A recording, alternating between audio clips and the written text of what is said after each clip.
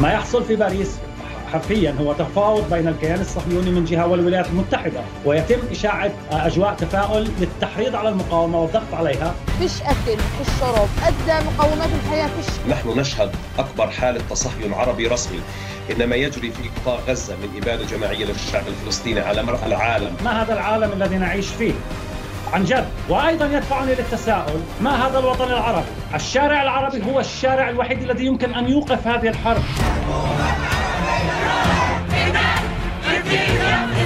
لو لم يكن هناك هذا الصمت العربي والتآمر العربي المفصي لكان هناك تغييرا كبيرا على الأرض.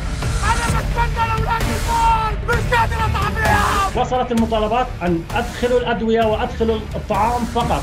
ثم يواجهون بمسرحيات سخيفة.